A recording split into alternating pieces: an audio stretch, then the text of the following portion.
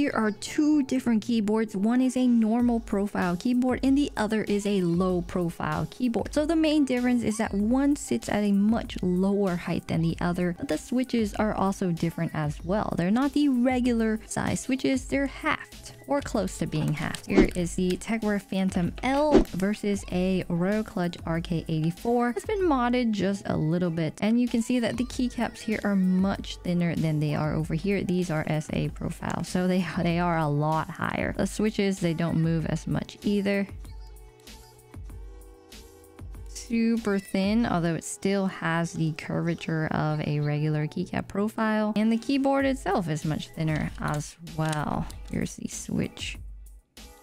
Here's a switch on this one, although you can't see it because it's buried in there. That's a normal switch here on the yellow and a low profile switch here on the blue. So it just depends on what you want. Low profile keyboards tend not to have as many switch options as regular ones. It's nice.